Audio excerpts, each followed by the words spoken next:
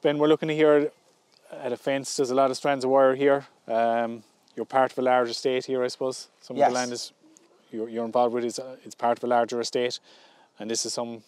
There's a project going on here. So when, when we took the farm on, he, he requested that he'd like to take a proportion out into environmental schemes. And this was one of those fields. It's about five hectares. It was a very heavy, wet field actually, so it, it needed a lot of work on drainage. So it was ideal to take out. It had a high number of different species of grass in it, um, and so he's I think is it eight stranded, and it's to stop any badgers and foxes getting in to, to allow I think predominantly curlew to nest in here, an endangered ground nesting bird. Um, and we might graze it in the late summer at his request with, with, with young stock. Yeah. Yeah, but it's just all about working with other people and meeting their needs. Yeah, and it's part. Of, look, it's part of the reality too. It's just this whole journey and sustainability, I guess, too, and biodiversity. It's Yeah, we're going to see more of it of sorts we? exactly. I can't claim direct credit for this, but it's, it's Yeah. it is part of the farm, and it's, it's it is nice to have stuff like this on, Yeah. on the farm. Yeah. Yeah.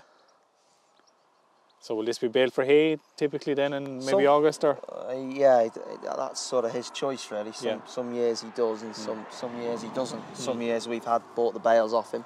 Other years he's used it on a, another farm on the estate that he's got involvement in. But you can see they spray the fence line out to keep it keep it clear. Okay.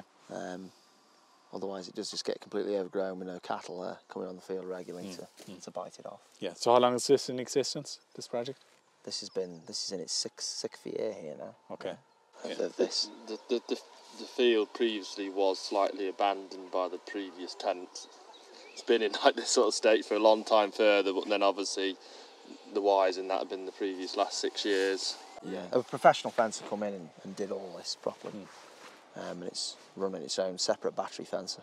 So that big brashed area there, if you look on a very old map, was known as the brickworks. Um, this large estate, I don't know the ins and outs of it, but the, all the bricks were, a lot of the bricks would have been made here. There's this, this farm, particular farm's covered in a lot of marl pits where they dug, Right. dug clay out to, to make bricks, yeah.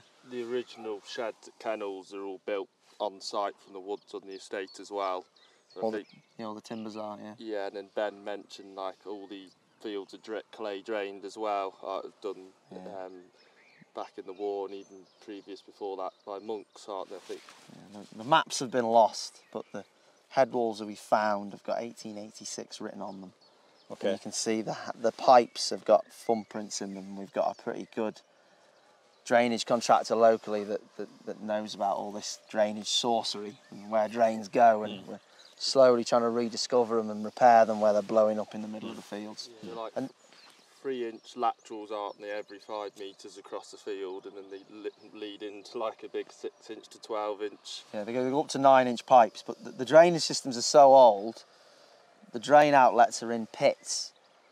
So they take some finding because years ago they would have filled the water with pits to feed the cattle for drinking water. Okay. Because you'd normally find a drain outlet in a ditch, whereas we had to look for these pits in the winter that have, that have gone orange on wet days where the washings off the drain have made the water go orange, and this is Okay. how we found this one big system in Okay. particular. But yeah, So it- they, they use that in source or wherever the water ended up. They used that for animals as well. for animals, Yeah. and then it overflowed into ditch to go away. But it, Yeah. it's unbelievable what Yeah. they dug in by hand. all done the hard way. Initial pits are all bricked in the bottom, where because obviously previous farmers and that's just overgrown and got Yeah. lost in time. Yeah, they reckon they bricked the bottom of the pits so the cattle could walk in to drink. Hmm. Um, yes, believe what they did really. So as we're walking to the Youngstock here, you, you have a wide margin there that you didn't cut. Yes, if you walk out again, this was a request of the landlord that for various environmental schemes that he'd like no mowing, no fertilising, no slurry application to take place on these four metre buffer strips. Yeah. And when we reseeded, we didn't plough those four metre strips to to keep the old varieties of grass in that create the biodiversity and all, all the rest of it that, that he wanted. It, it doesn't seem to make a great deal of difference with cattle grazing. Uh, yeah, it's, uh, they can still eat the grass that's there. It's just not as tidy as the middle. Yeah. Um, So again, how long are you doing that? that this this this particular 400 acre block is under this scheme and it's been going for five or six years now Right. and the hedges are on a three year plus cutting cycle to allow them to fruit and then then they'll cut them, or maybe they might coppice them or something like that. Yeah. Yeah. So it doesn't look quite as tidy to the eye, but you, you, you get used to it. And when the hedge cutter does come, any oak that's appearing, they won't they won't cut the oak in the hedge, so, to try and increase the number of trees on the farm. Yeah.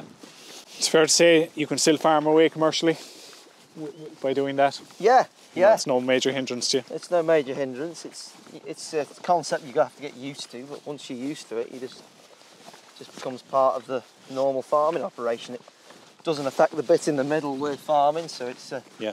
happy medium meeting in the middle, really. But Yeah. it's, so it can remain commercially viable for us and improve the environment.